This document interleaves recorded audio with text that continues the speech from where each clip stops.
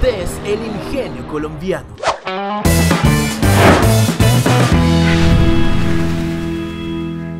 Antes de iniciar el video, quería invitarte a que te acerques a nuestras redes sociales. En Facebook, Bendito Extranjero. Y en Instagram, arroba Bendito Extranjero. Y por supuesto, suscríbete a nuestro canal y haz clic en la campanita.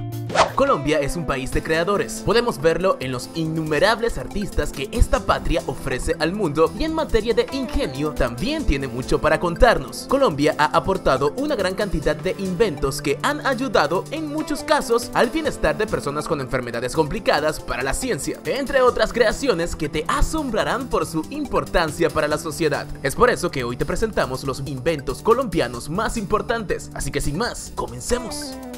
Rodolfo Ginás, un médico bogotano que es considerado como uno de los científicos más brillantes de Colombia y más importantes del mundo en el campo de la neurociencia. Él fue quien anunció la llamada ley de Ginás, según la cual una neurona de determinado tipo no puede ser reemplazada funcionalmente por otra de otro tipo, incluso si su conectividad sináptica y el tipo de neurotransmisor liberado son idénticos.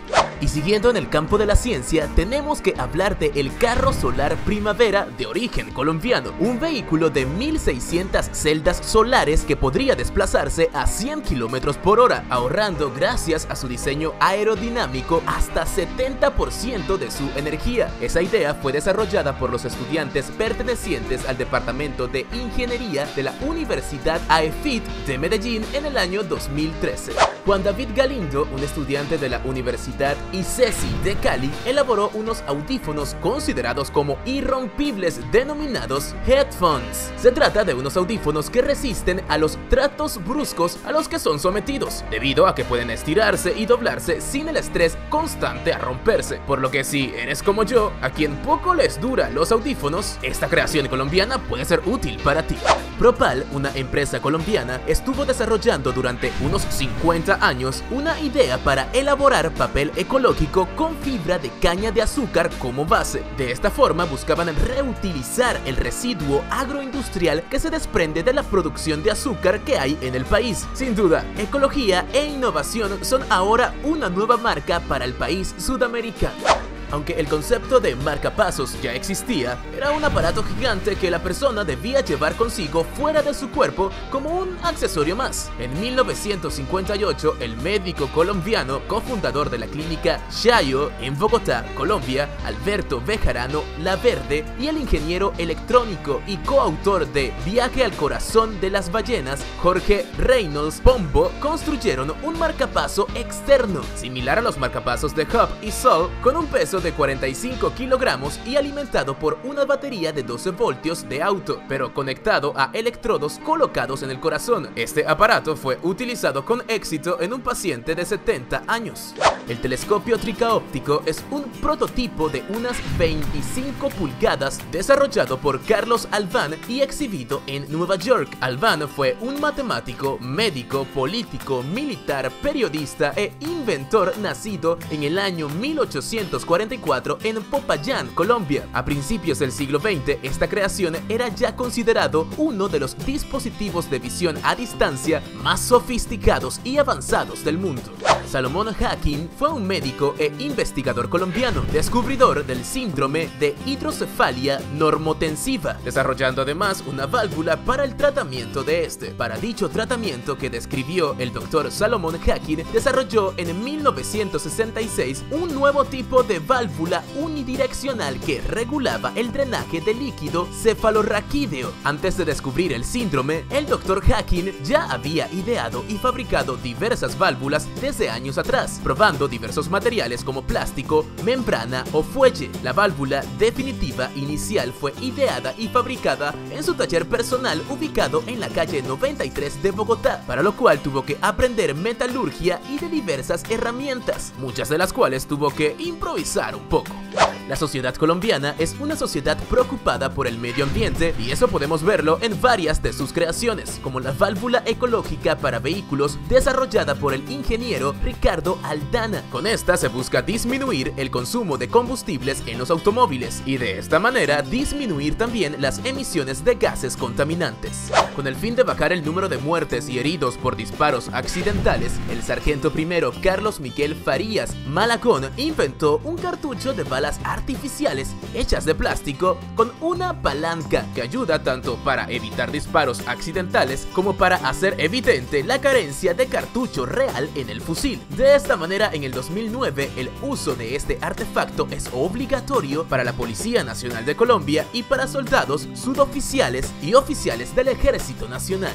El LASIK es una cirugía refractaria para la corrección de la miopía, hipermetropía y astigmatismo. La cirugía LASIK se hace por un médico oftalmólogo que utiliza un láser de baja potencia para cambiar de manera permanente la forma que tiene la córnea, con el fin de mejorar la visión y reducir la necesidad de la persona de usar gafas o lentes de contacto. Desde el año 2009 se han realizado más de 28 millones de operaciones de este tipo alrededor del mundo. Fue desarrollada por el oftalmólogo español residenciado en Colombia, José Ignacio Barraquer en 1963. 3. Arcadio es un robot creado con la finalidad de detectar explosivos y desactivarlos, una invención importante para el país que llegó de la mano de la Universidad Javeriana. Se maneja mediante una computadora a distancia con un brazo computarizado inteligente. De esta manera se hace que las zonas de conflicto sean lugares libres de riesgos de las minas antipersonas.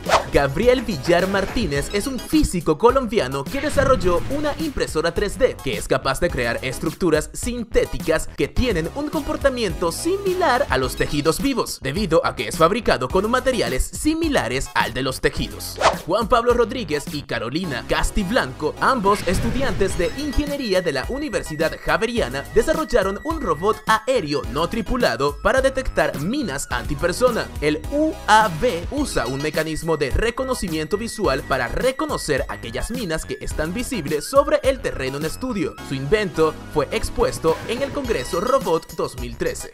Manuel Quintero y Santiago Sánchez, dos estudiantes de la carrera de Ingeniería Electrónica, desarrollaron un cargador para teléfonos celulares que se alimenta de luz solar, la cual es captada por celdas especializadas en la retención de esta luz para luego ser transformadas en voltio, más de la conciencia ecologista en Colombia. El seguidor de pupila es un artefacto diseñado para personas que no tienen movilidad, les permite tener control de las funciones básicas de la habitación tan solo con los ojos, como cerrar las ventanas, cambiar el canal del televisor y acomodar la cama, por solo nombrar algunas. Son unas gafas que tienen una cámara acondicionada para que la longitud de onda no vaya a afectar los ojos. Las señales salen a un computador que las analiza y sabe qué acción quiere lograr la persona. Este se conecta con un sistema de control que envía las señales a cada uno de los dispositivos. Esto explicó Daniel Cuartas, ingeniero de mecatrónica al obtener el reconocimiento como innovador de Colombia por bajo de los 35 años en el año 2013. Finalizamos con una esperanzadora creación que está en proceso, pues se espera que en algunos años Manuel Elkin Patarroyo logre la primera vacuna contra la malaria, un laborioso trabajo que ha venido adelantando durante varios años y que se encuentra en su fase definitiva, en búsqueda de avanzar en el tratamiento y prevención de la enfermedad que afecta a un importante número de personas en el mundo, sobre todo en las regiones tropicales donde el acceso a medios de prevención es escaso.